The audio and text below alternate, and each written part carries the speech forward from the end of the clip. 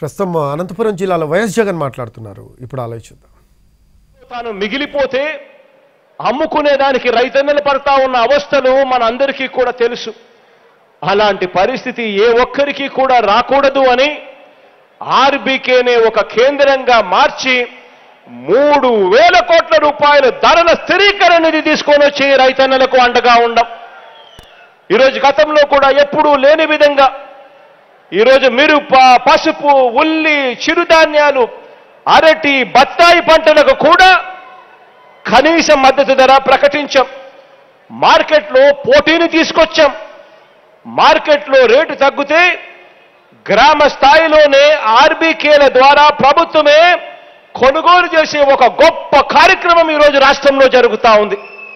ఈరోజు ఎక్కడా కూడా దళారీలు లేరు.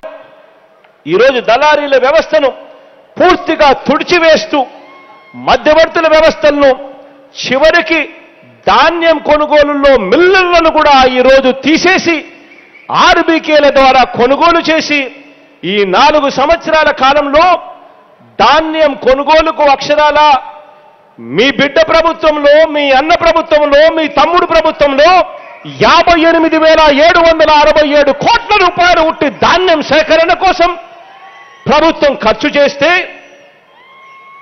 ఇతర పంటల కొనుగోలు కోసం మరో ఏడు వేల ఆరు వందల ముప్పై మూడు కోట్ల రూపాయలు ఖర్చు చేశాము అని చెప్పి కూడా సగర్వంగా తెలియజేస్తా ఉన్నా. ఈరోజు ఈ మాదిరిగా రైతన్న ఇబ్బంది పడకూడదు.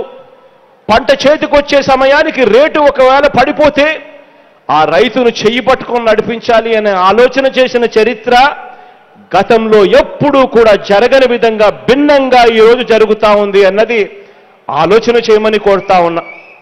అంతేకాదు గత ప్రభుత్వం ఎగ్గొట్టిపోయిన ధాన్యం సేకరణ బకాయిలు తొమ్మిది వందల అరవై కోట్ల రూపాయలు కూడా మనమే కట్టాం. గత ప్రభుత్వం ఎగ్గొట్టిపోయిన విత్తనాల బకాయిలు సైతం మూడు వందల ఎనభై నాలుగు కోట్ల రూపాయలు మనమే కట్టాం. గత సంవత్స గత ప్రభుత్వం ఎగ్గొట్టిపోయిన కరెంటు బకాయిలు కూడా ఎనిమిది వేల ఎనిమిది వందల కోట్లు మనమే కట్టాము అని చెప్పి కూడా ఈ సందర్భంగా తెలియజేస్తా ఉన్నా. ఈరోజు ఈరోజు మనందరి ప్రభుత్వం తీసుకువచ్చిన ఎనిమిదవ గొప్ప మార్పు. ఈ ఎనిమిదవ గొప్ప మార్పు కూడా ఎంత పెద్ద మార్పు అంటే రైతన్నలకు పగటి పూటే తొమ్మిది గంటలు నాణ్యమైన ఉచిత విద్యుత్ ఇచ్చే ఒక గొప్ప కార్యక్రమం. ఈరోజు మీ బిడ్డ ప్రభుత్వం తీసుకొచ్చిన తొమ్మిదవ ఎనిమిదవ గొప్ప మార్పు.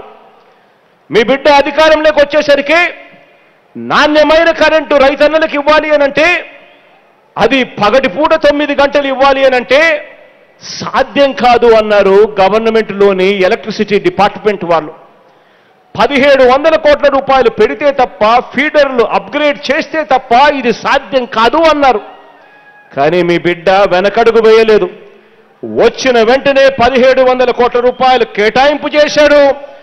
ఫీడర్ల కెపాసిటీ పెంచాడు. రైతన్నలకు పగటి పూటిన తొమ్మిది గంటలు నాణ్యమైన విద్యుత్ ఇచ్చే విధంగా అడుగులు వేశాడు అని చెప్పి కూడా ఈ సందర్భంగా తెలియజేస్తా ఉన్నా.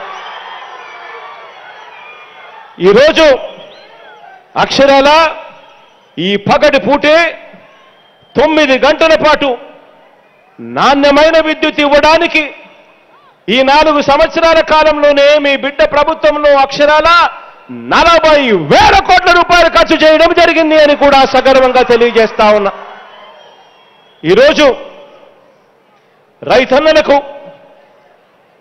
రైతన్నలకు ఈరోజు ఉచిత విద్యుత్ ఇవ్వడమే కాకుండా ఆ ఉచిత విద్యుత్తు రైతన్నలకు కలకాలం అందాలి ఎల్లకాలం అందాలి.